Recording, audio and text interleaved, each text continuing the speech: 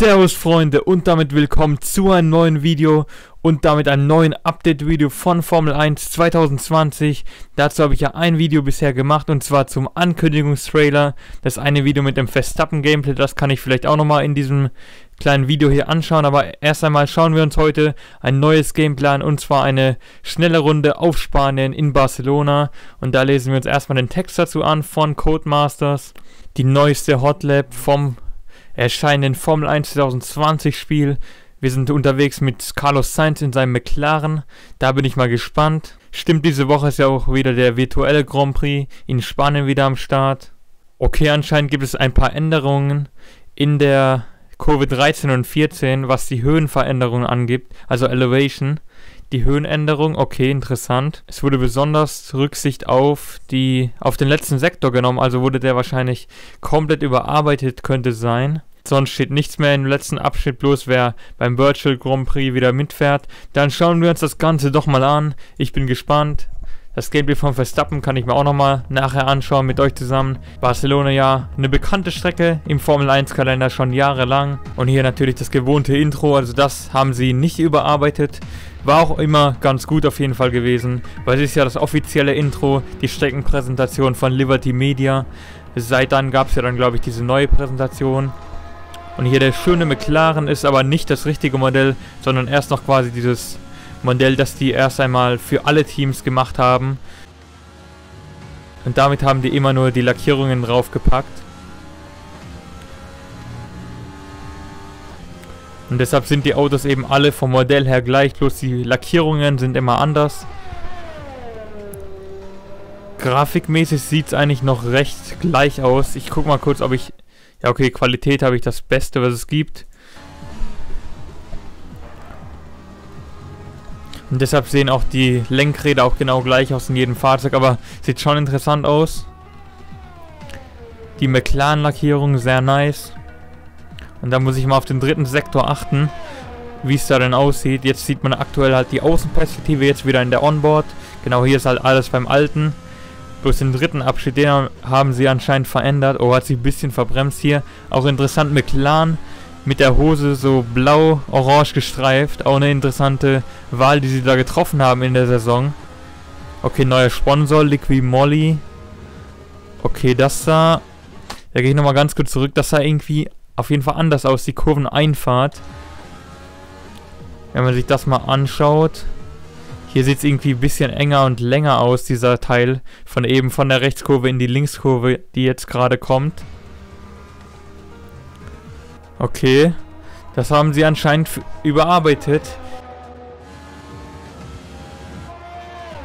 Oh, das sah gerade sehr schön aus. Die Zieleinfahrt. Okay, und das war's dann also. Genau das Video mit Verstappen in Sandford, das schaue ich mir nochmal kurz an danach. Hier nochmal ganz kurz die überarbeitete Stelle der Abschnitt zwischen den Schikanen, diese kleine Gerade quasi vor der Rechtskurve, jetzt die wirkt irgendwie ein bisschen kürzer und dafür wirkt der Teil auf jeden Fall länger. Hier von der letzten Schikane, beziehungsweise von der Rechtskurve zur Boxeneinfahrt und dann die Kurve zu Startziel, die wirkt auf jeden Fall länger. Haben sie da schön überarbeitet.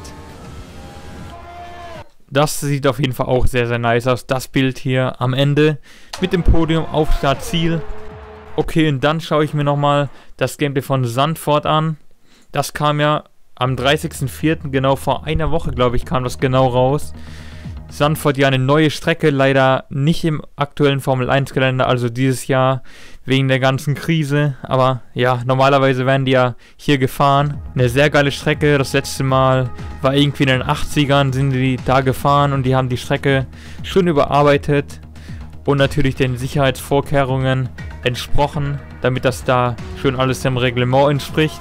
Und da gibt es eben die erste Veränderung, und zwar im Vergleich zu früher gibt es hier eine schöne Steilkurve auf Startziel. Und da ist auch die längste DRS-Zone und der beste Überholpunkt wahrscheinlich hier in der ersten Kurve.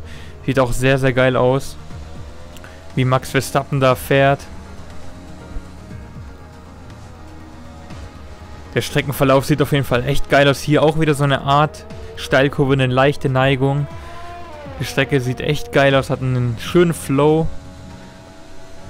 Aber auch recht schmal, also ich weiß nicht, ob das so einfach wird, da zu überholen. Hier jetzt schön die Außenperspektive. Also im Spiel wird es wahrscheinlich auf jeden Fall einfacher sein, als im Real Life da zu überholen. Hier bremst das schön rein. Oh, das ist eine coole Sektion. Schöne Tribüne auf der Außenseite. Oh, die Kurve gerade erinnert mich irgendwie ein bisschen an Frankreich, an Le Castellet. So vom Flow her. Oder die Parkkurven davor auch schon. Weil man irgendwie nicht wirklich komplett außen anbremst, aber auch nicht komplett nach innen reinlenkt. Das ist schon interessant. Ich habe aber Angst, dass ich da wieder nicht so gut sein werde im Spiel. Okay, das sieht geil aus.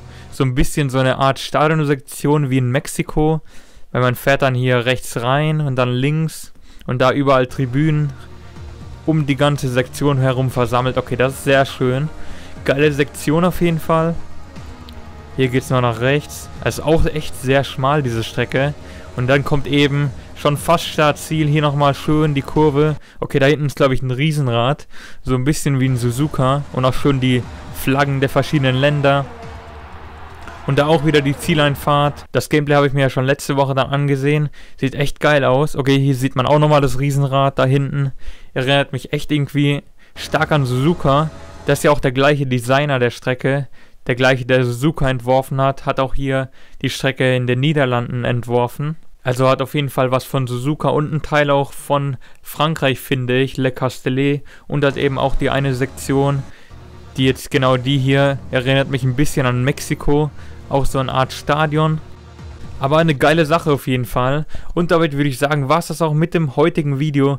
Wenn es euch gefallen hat, lasst gerne ein Like da, abonniert den Kanal und aktiviert die Glocke natürlich, wenn ihr neu seid und keine weiteren Videos verpassen wollt. Es kommen, denke ich mal, natürlich weiterhin Formel 1 Update-Videos.